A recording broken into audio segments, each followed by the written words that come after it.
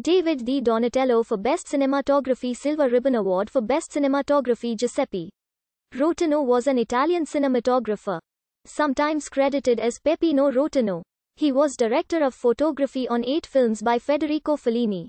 He collaborated with several celebrated Italian directors including Vittorio De Sica on Yesterday, Today and Tomorrow starring Sophia Loren and Marcello Mastroianni, and Luchino Visconti on Rocco and his brothers.